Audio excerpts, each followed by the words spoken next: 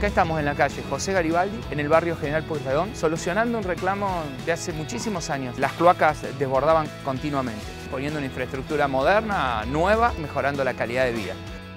Todas las cuadras inundaban las cloacas y brotaban en el inodoro, en todos lados, adentro. Estamos contentos que por fin da una solución.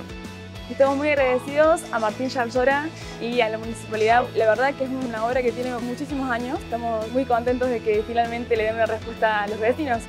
Mejoran los barrios, progresa la ciudad.